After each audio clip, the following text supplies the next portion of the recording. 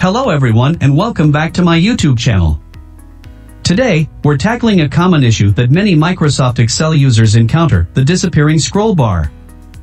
It can be quite frustrating when you can't navigate through your spreadsheet smoothly.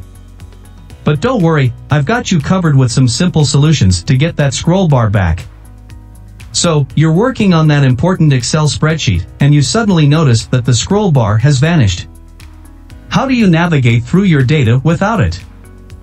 I get it, it's frustrating, but let's get it sorted out.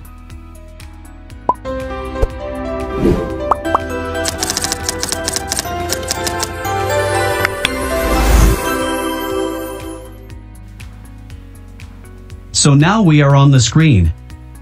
Let me open the Excel file in which scroll bar is not showing. Sometimes, the scroll bar is accidentally turned off.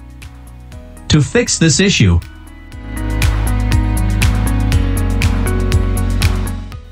Simply go to the File tab, click on Options, and then select Advanced.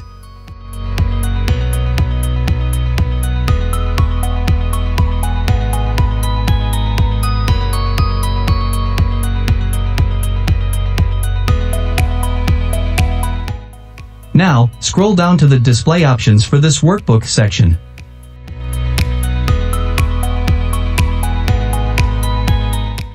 Make sure that both Show Horizontal Scroll Bar and Show Vertical Scroll Bar options are checked.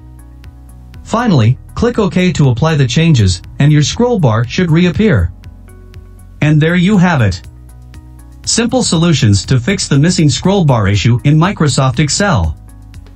If you found this video helpful, please give it a thumbs up, subscribe to Namastey IT for more tech tips and tutorials, and don't forget to hit that notification bell so you never miss an update. Thanks for watching, and I'll see you in the next video.